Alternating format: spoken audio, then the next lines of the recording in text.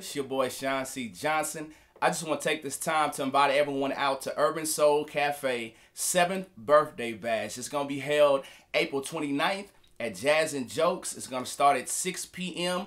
We're going to have Myron Butler hosting it. We're going to have LeJuene Thompson, Anita Wilson, Vik, Sean Simmonds. I think Tupac's hologram is going to be making a surprise appearance. Um, I'm going to be there. Um, Lord willing, I see you in the place also. So hope to see y'all April 29th for Jazz and Jokes for Urban Soul Cafe 7th birthday bash. Holla.